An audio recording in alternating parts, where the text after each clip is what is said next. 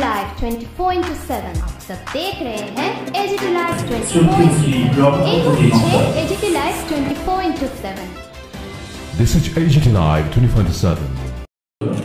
সঙ্গে রয়েছে আমাদের ক্লাবের প্রেসিডেন্ট আহ, এই আহ, প্রত্যেক বছরই আমরা আগরতলা প্রেস ক্লাবে নানা ধর- সাংবাদিকদের জন্য নানা ধরনের খেলাধুলার আয়োজন করে থাকি তো এই বছরও ব্যতিক্রম হয়নি। চল্লিশ বছর পূর্তি উপলক্ষে আমরা বিশেষ কিছু খেলার আয়োজন করেছি এই বছর। তো সেই আজকে পুরস্কার প্রদান করা হবে। তাছাড়া কিছু কিছু খেলা আমরা বিশেষ আয়োজন করেছিলাম।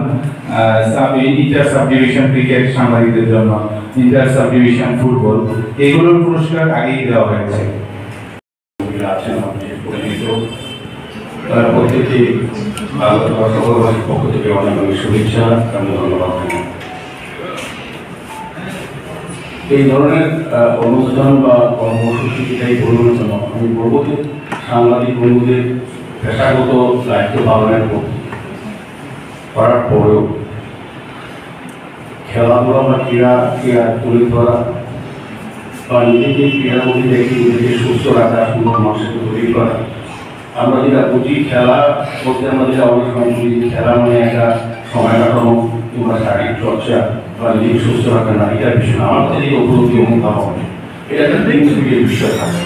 আমরা সবসময় বলি যে রাজনীতি হোক বা যে কোনো প্রফেশন হোক, একটা স্পিড থাকতে হবে, নিজের প্রিন্সিপি ব্যবহার করি এটা কিন্তু ক্রীড়ার মাধ্যমে সবচেয়ে বেশি যদি নিজেকে তৈরি করা যায় স্পিড হিসেবে বা টিম হিসাবে বা শক্তি হিসাবে বা সবার সঙ্গে একসঙ্গে চিন্তা মানুষের তৈরি হয় কিন্তু খেলার না। খেলার মাঠ কিন্তু সমস্ত মানুষকে সৌভাগ্যের জন্য আত্মকতা জ্ঞান পরস্পরের মধ্যে বিশ্বাস ও কিন্তু বৃদ্ধি করে তার সঙ্গে শারীরিক চর্চা বা মানসিক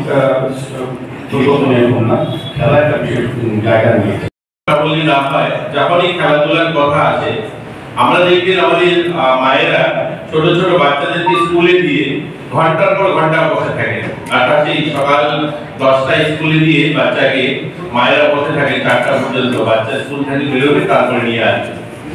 কিন্তু এটা বলতে হয়, আমি যেহেতু ক্রীড়ামন্ত্রী, আমি দেখি যখনই কোনো অন্য কোনো স্পোর্টস হয়, সেখানে ছেলেমেয়েরা যখন খেলতে যান, বাড়ির অভিভাবকরা সেখানে যান, অর্থাৎ প্রথম থেকেই আমরা ধরে নিই যে খেলাধুলা যারা করে, তারা দ্বিতীয় শ্রেণির নাগরিক। এই জায়গা থেকে বেরিয়ে আসতে হবে। আগে একটা সময় ছিল যে খেলাধুলা হলেই মানুষ বলতো যে দেশের শরীর এবং মনের জন্য। আজ কিন্তু শরীর মন নয়, আজ আর্থিক ভাবেও যেমন আমাকে স্বাবলম্বী হতে সাহায্য করে, আজকে আমি প্রতিষ্ঠিত হওয়ার জন্য, আজ যদি আমরা দীপা কর্মকারকে দেখি বা বর্মনকে দেখি বা প্রতিষ্ঠা সামন্তকে দেখি, দেখবেন এরা আমাদের অন্যান্য চাকরিজীবী যারা, তাদের থেকে অনেক বেশি সুনাম অর্জন করেছে।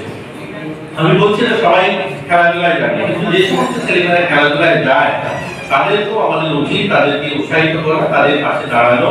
কারণ এটা একটা বিশাল বড় মাধ্যম আজকে দিনে নিজেকে প্রতিষ্ঠিত করার। আমরা আমাদের রাজ্যটাকে যদি দেখি, দীপা কর্মকার পর, দীপা কর্মকারের পরবর্তীতে প্রতিষ্ঠা সামন্ত জুনিয়র জিমনাস্টিক প্লেয়ার ছিল, তাকে ভারত সরকার নিরাপত্তাভাবে চাকরি দিয়েছে।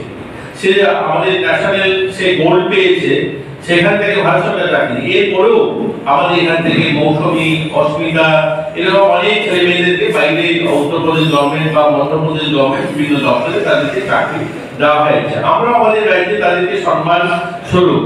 আমরা ঘোষণা করেছি এবং দিচ্ছি আমরা দু বছর ধরে।